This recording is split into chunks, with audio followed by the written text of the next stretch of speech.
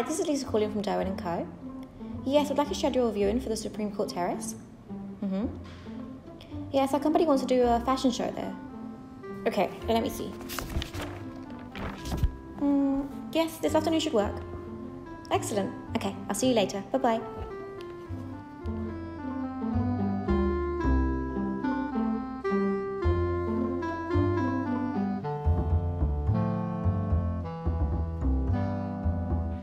Go ahead. Um, so when are the dates you're looking for for your company fashion show? Mm, it's in the spring of 2020, on the 20th of March. Uh, okay, let me check my agenda. You know what? You, you're very lucky because we have like March is fully booked for 2020, but the only date is on the 20th, so I think you're good. Oh, great. I think this venue is perfect for us. I, am already thinking about where to put the stage and the sound system. It's really great. Um, I'll just head back to the office and speak to my boss and get back to you as soon as we can.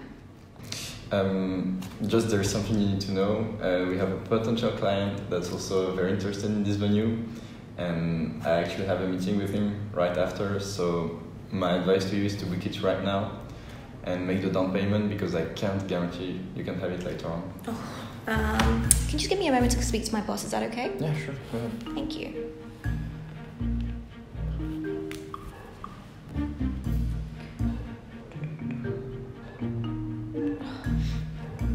She's just not answering. Um, do you know what? I think we just go ahead and book it. I think the venue is just perfect for us. You sure? Okay. Um, that's perfect for me. We can just settle this right now and get on with the paperwork. Sure. So. Deborah, you just won't believe what just happened. You know, you should knock before entering, but I guess go ahead and just take a seat. Oh, come on, Deb. I'm so excited about the venue. I just got back from the National Gallery and booked as the Supreme Court Terrace for our venue. Isn't that exciting? You did what? I managed to secure the National Gallery for our show. Isn't that exciting? Do you want to see some pictures? No, Lisa, that's not the point here. Why didn't you consult me first? You had no right to bypass me this way. But I tried to get a hold of you and just weren't picking up. I had to make a quick decision, otherwise we'd have lost the venue. I'm sure if you take a look, you'll love it. No, no, no, no, no. Cancel that booking immediately. You do not make such decisions without my approval. That's not how it works here. You're joking, right? If we cancel the booking, we'll lose a down payment.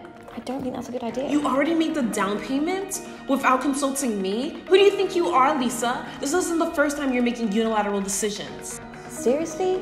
What are we employees to you? Do you even respect us? We have no voice here. All you do is criticize and demand us. It's all about you. You, you, you. 我受够了去染 Enough, Lisa. No. Everybody here is too afraid to speak up. Do you remember the last fashion show? Joey's idea was brilliant and you just shut it down without much deliberation, and nobody raised it against you for the fear of offending you.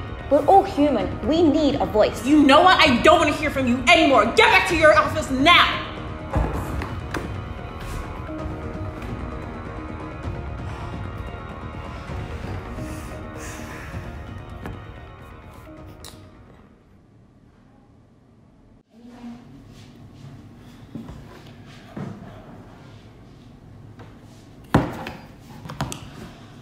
So I would like to apologize for my behavior earlier. It's definitely uncalled for. I don't want you to ever feel as though you don't have a voice here in our company, and we've definitely um, appreciated and value all of your work that you've done so far. And so, with that being said, I would like to give you a formal position in charge of the fashion show. And so, um, just for future references, I would hope that you would take initiative of different projects, but then with that being said, I would want you to come talk to me and like make sure that you're keeping me in the loop with everything that you decide that you want to do. And so, yeah. And if you have any further questions, you can definitely find me in my office.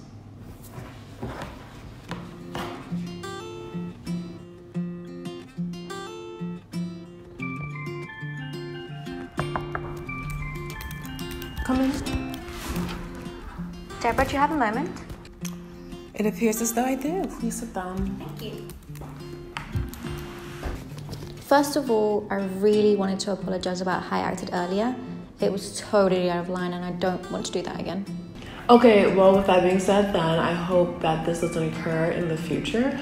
And so, um, in order to also make sure that we're promoting and we're fostering collaboration among our employees, we decided to instill a feedback system. And so, you should be hearing more about that in the weeks to come in your email. That sounds great. An open communication channel will really help the company out. Now, with regards to what you mentioned earlier about the job offer, can you give me some more details? Yeah, definitely. So, as far as your roles and your responsibilities, you're going to be um, taking charge.